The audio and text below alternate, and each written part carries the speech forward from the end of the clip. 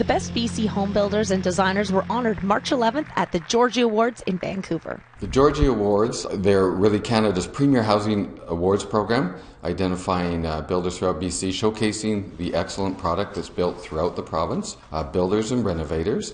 The big winner of the night was Naikoon Contracting, taking home five awards, including the coveted Custom Home Builder of the Year award.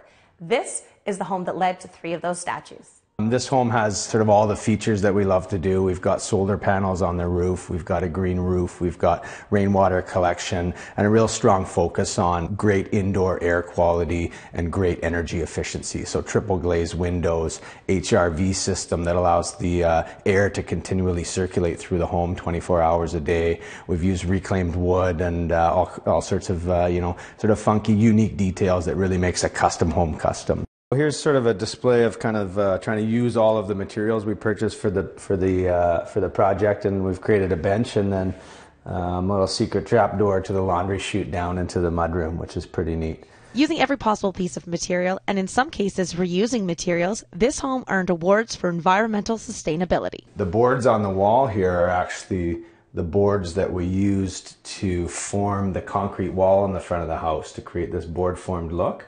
And so we poured the concrete, pulled these off, and then salvaged them and, and um, stained them and put them onto the wall here.